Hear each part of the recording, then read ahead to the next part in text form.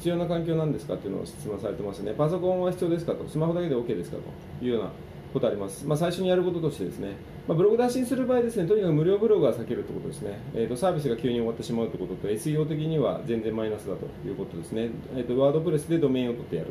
で、レンタルサーバーを借りるということで、まあ、月に500円以下ぐらいで、えーと、年間ドメインが、えー、と1000円ぐらいで、まあ、月の、えー、とロリポップとかだとレンタルサーバーが大体月に250円とか300円なので、まあ、月に500円以下で、えー、とブログでの独自ドメインでの情報発信というのはできると思います。ただ、まあ、あのパソコンがあった方がいいですよね、まあ、スマホだけできるんですけども、やっぱりあの細かい作業っていうのは、えっと、パソコンの方がやりやすいと。で記事の執筆についてはライターさんを使った方がいいかなと思います。でご自身で書くというのはなかなかあの厳しいので、